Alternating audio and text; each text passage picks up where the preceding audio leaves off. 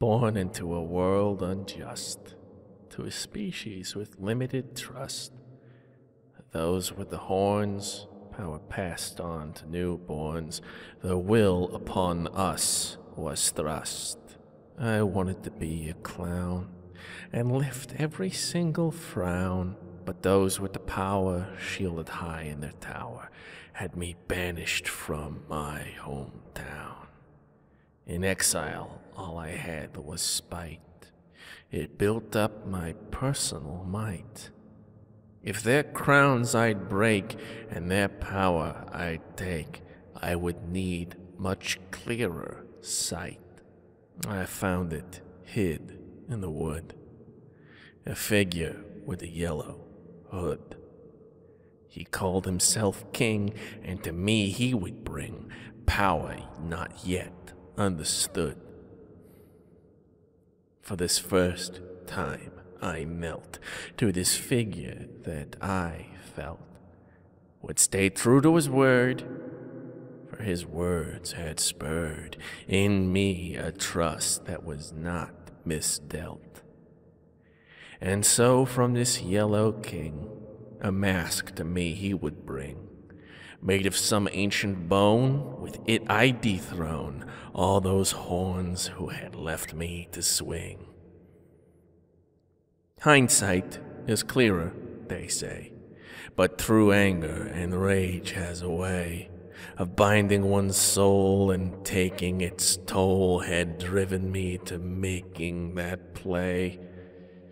It drew everyone mad, if sat through it they had. The entire second act, and without much tact, the Yellow King to his numbers would add. An agent of madness I was, to me a righteous cause. I didn't care for them, I wouldn't even hack up phlegm as they gave their maddened applause. Underestimated them, though I did, for some had been smart and hid. They sprung a great trap, gave my body a great nap, and sent my splintered soul to bid. For eons my mind fractured, personalities now manufactured. I was no longer myself, just a shell on a shelf, a trophy of the horn's great capture. Time, although, has its way of ticking on day by day. My tale was forgot, generations cared not to remember or keep victories on display. The Yellow King remained an investor. He saw opportunity in my great sequester.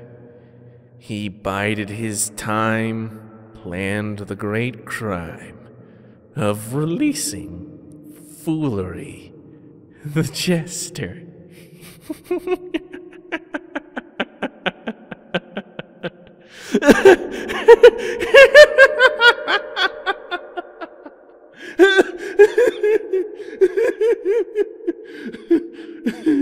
Ha ha ha.